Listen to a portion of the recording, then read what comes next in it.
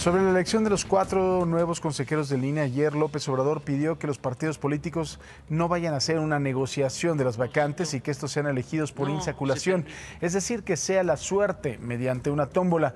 Precisamente cuatro consejeros, entre ellos Lorenzo Córdoba, dejan su cargo el 3 de abril y ayer la Cámara de Diputados dejó en suspenso el nombramiento de los sucesores. Se espera que hoy a las 5 de la tarde se reúnan los líderes parlamentarios buscando un acuerdo. Los legisladores tienen hasta el último minuto de hoy para eh, sinceramente.